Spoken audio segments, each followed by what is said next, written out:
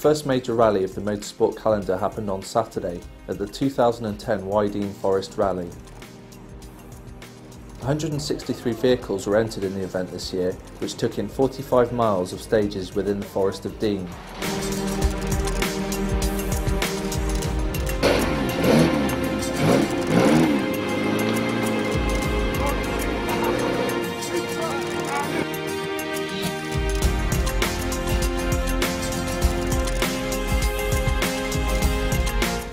Around 8 o'clock, the first car left service heading for the first stage, Mailscot, a six mile blast through the woods down to the River Wye and back.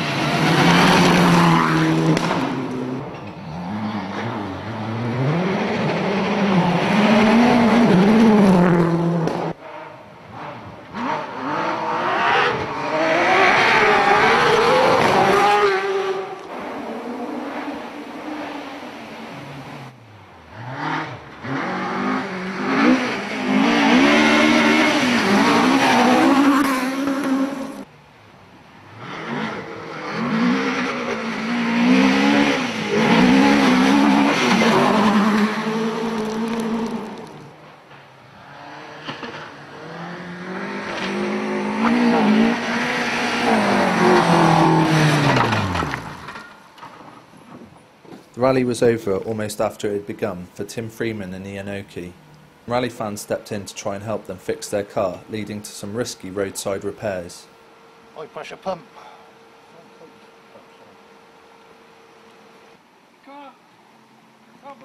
Oh, that's cool. Come on, in, in, in. In, in.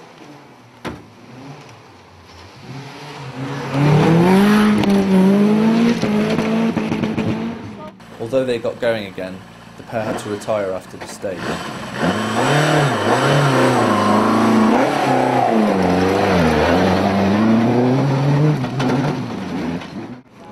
After stage four, the crews headed back to the service at Chepstow, where we caught a few words with last year's winner Nick Elsmore. Yeah, not bad at all. I knew it was going to be a tough task trying to keep up the World Rally cars, and you know they are a little bit ahead of me, but uh, we've had no problems. We're pushing 110% like I promised. Um, you know, one mistake and I'm theirs. You know, I'm going to be overtaking them. So uh, you know they've got to keep a cool head, and so have I. Yeah, it's all good, no complaints. I took 12 seconds out of my fastest stage time I've ever done in Mailscot, so we're definitely on the limit. Like I said, I'm up against technology of the World Rally cars, and I don't think the Group A cars can overcome that. So uh, I think it might be a slightly out of my reach. Uh, we'll give it all on Speech House. I think you know maybe if they get tired, I can take a few seconds out of them, and uh, if I can't do it in Speech House, then we'll just settle for the finish.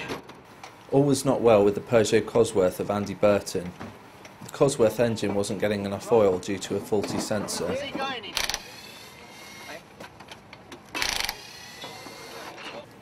Andy's mechanics worked hard to try and fix the problem, and his son Josh, who was co-driving, tried to adjust the engine sensor with his laptop.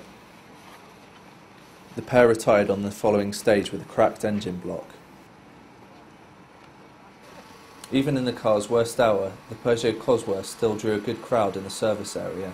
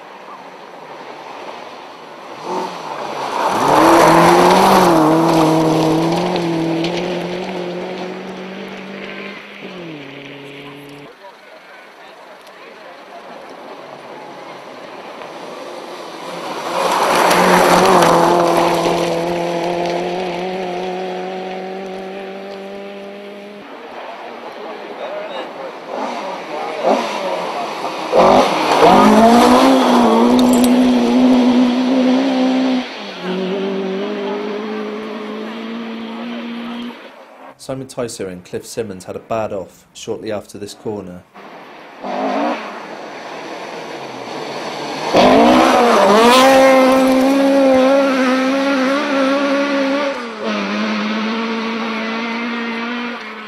The aftermath of the accident was caught on the in-car camera of Dave Jenkins and Graham Cox.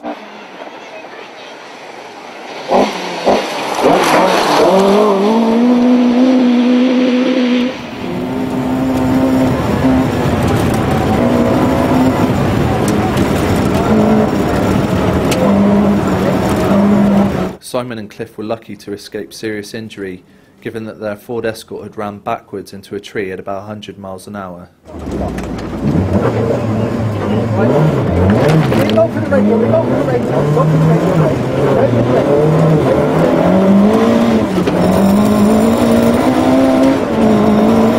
The stage was then stopped, leaving long delays for the rest of the crews waiting to go through.